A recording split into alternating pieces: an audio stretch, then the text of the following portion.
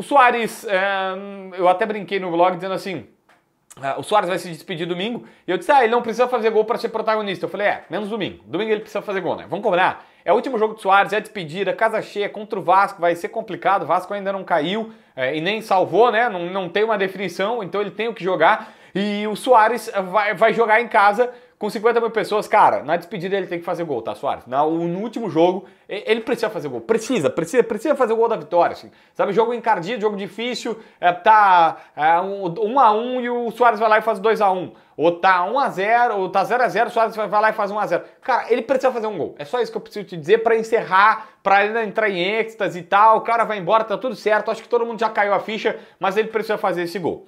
Gente, Natan Fernandes, titular pela primeira vez aos 18 anos, joga muita bola, né? Joga muita bola. O cara, ele, ele é liso, ele passa rápido, ele tem velocidade, ele tem drible, ele parece maduro, é, ele não... É, ele tem, ele tem talento. Gente, no gol que, que ele recupera a bola, é uma bola que a bola sobe e ele dá, ele dá de, de, de calcanhar, de, de costas, assim. Cara, ele dá uma batida na bola maravilhosa, uma tacada para a bola chegar no cristal e fazer gol. Ele tem só 18 anos. Esse é o atacante que é formado nas categorias de base do Grêmio, tá desde os 11 aqui, então foi todo lapidado, ele é carioca, mas foi todo lapidado pelo Grêmio e tá sendo lançado no tempo ideal, tá jogando no tempo ideal. Eu sei que ele é diferente dos demais, mas a gente sempre teve uma bronca do cara, pô, tem 22 anos e estão chamando de garoto, estamos lapidando. Esse é o cara, de 18 anos, mas que tá entrando, tá com naturalidade, tá finalizando. Tem uma bola que ele tabela pro Soares, o Soares depois devolve para ele e ele corta para dentro e bate.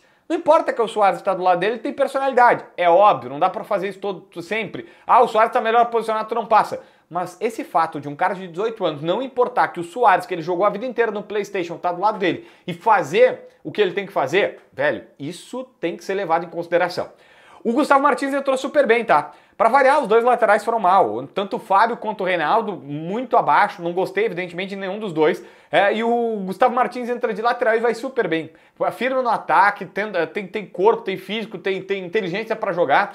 E o Gustavo Martins é zagueiro, já jogou bem de primeiro volante agora de novo. Para mim, olha, como lateral direito, nem preciso dizer que melhor que o Fábio ele foi tá jogando bem. Acho que é um cara a ser meio que olhado aí e tudo mais. Como pontos negativos, infelizmente, tem os dois laterais, Fábio e Reinaldo. Acho que a direção vai ter que dar uma boa olhada para a próxima temporada. E o cara baixo, que tá entregando um futebol bem decepcionante. É ele que falha grotescamente no primeiro gol dos caras, né, do, do, do Goiás, e é ele que tem uma partida bem abaixo do esperado. PP entra na segunda etapa e, por exemplo, pelo menos dá um passe longo maravilhoso. Eu não vi isso do cara baixo. É uma decepção muito, muito grande é, da temporada. Mas a temporada vai salvar porque o Grêmio matematicamente está na Libertadores. Agora é só saber G4 ou G6, fase de grupos ou direto uh, ou para pré-Libertadores da América. E domingo tem que se despedir do Soares. Mas detalhe, o Vasco ainda tem muito que brigar. Vai ser complicado. Mas aí é que é bom, né?